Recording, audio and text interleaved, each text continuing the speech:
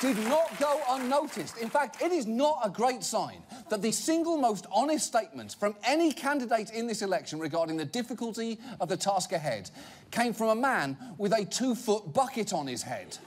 Your Prime Minister, your MP, Theresa May, called this election about Brexit.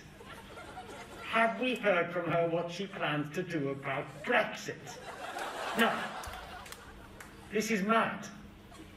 On Thursday, you are going to be faced with Prime Minister May or Prime Minister Corbyn against 27 Prime Ministers from the European Union. It will be a shit show.